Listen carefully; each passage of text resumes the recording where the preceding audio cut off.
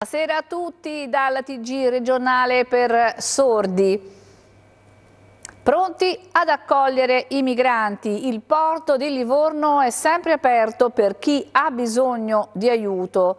Così il sindaco Luca Salvetti che si sta preparando all'arrivo di due navi ONG con a bordo 250 migranti provenienti dal Nord Africa e dall'area subsahariana.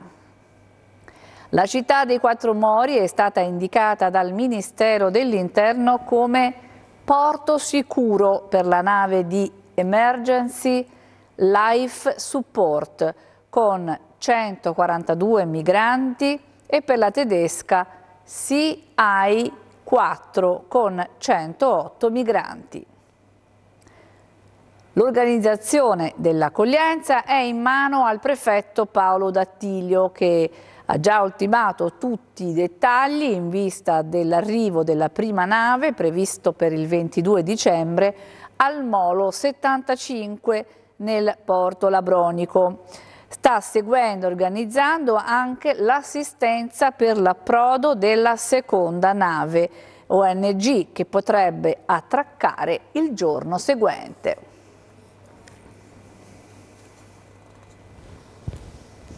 È di un anno e sei mesi per violenza sessuale. La condanna inflitta al termine del giudizio in abbreviato al ristoratore marchigiano Andrea Serrani, accusato di aver molestato la giornalista Greta Beccaglia, nostra collega di Toscana TV, il giudice ha disposto la sospensione della pena per cinque anni subordinandola alla partecipazione dell'imputato a percorsi di recupero.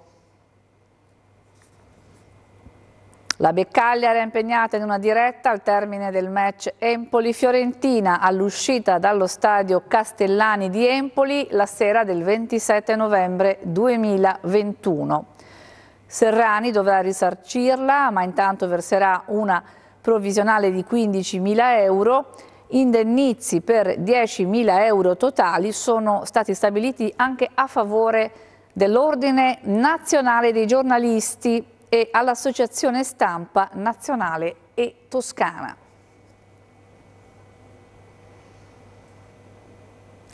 Il centrodestra in Consiglio regionale della Toscana annuncia un corposo pacchetto di emendamenti, un migliaio circa in aula alla manovra di bilancio per la quale oggi comincia il dibattito e alla legge di riforma di sviluppo toscana.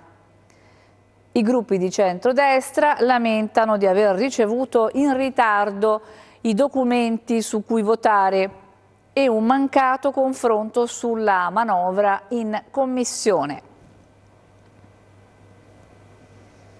Il Comune di Firenze chiude all'ipotesi di realizzare un gassificatore per i rifiuti, impianto per l'economia circolare che sarebbe dovuto sorgere in località Terrafino, al centro di forti polemiche sul territorio.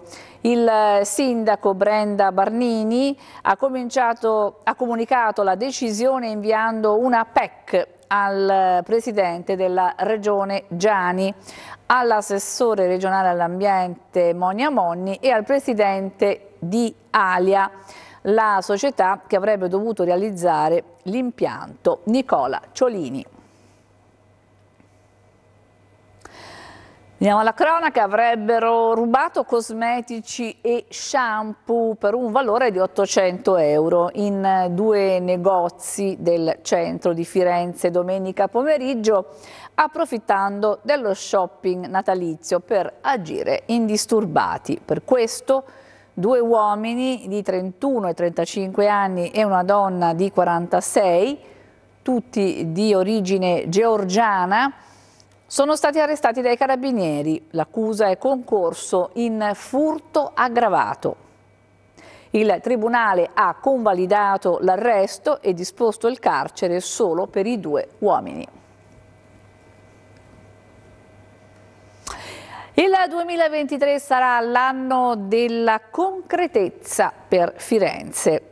Sarà l'anno dell'avvio di opere pubbliche attese da tanto tempo. Cominceremo con i lavori della tranvia di Bagnarripoli, poi della linea per Campi Visenzio, sarà poi l'anno dello stadio.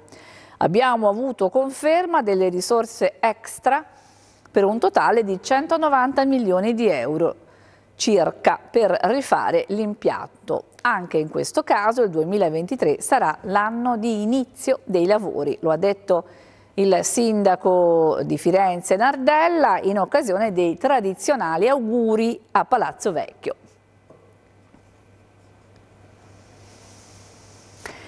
Russi e ucraini studiano insieme alla cittadella della pace di Rondine nell'Aretino dove trascorreranno due anni. Fanno parte della nuova generazione di studenti, 12 in tutto, che in questi giorni è ufficialmente entrata a far parte della World House di Rondine, un programma biennale che promuove un percorso di formazione e convivenza per giovani nemici provenienti da luoghi di guerra o in cui gli echi del conflitto bellico sono ancora forti. Una notizia curiosa, 25 macchine agricole per un maxi albero di Natale. A progettare e realizzare l'idea i coltivatori di Pietrasanta in provincia di Lucca che hanno usato un terreno in via Tonfano come base per la loro suggestiva composizione. Con 22 trattori e 3 mieti trebbie hanno ricreato la sagoma del tradizionale abete in versione bidimensionale da 100 metri per 50 e poi fari accesi per simulare le luci natalizie e foto dall'alto per immortalare l'opera completa.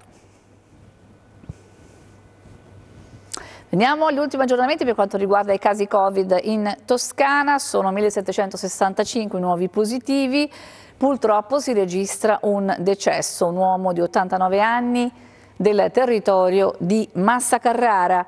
I ricoveri salgono a 566, 11 in più rispetto a ieri, di cui 24 in terapia intensiva, uno in meno rispetto alla giornata di ieri.